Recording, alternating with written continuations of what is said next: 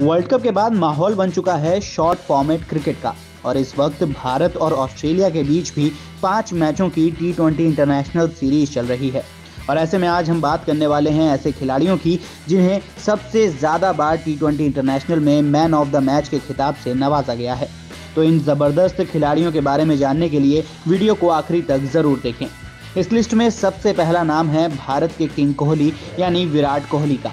विराट को 115 टी में से कुल 15 बार मैन ऑफ़ द मैच के खिताब से नवाजा जा चुका है।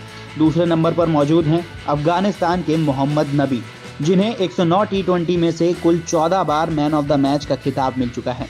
नबी के बाद नाम आता है भारत के सूर्य कुमार यादव का, जिन्हें अब तक चौवन इंटरनेशनल मैचों में तेरह बार मैन ऑफ़ द मैच का खिताब मिला है।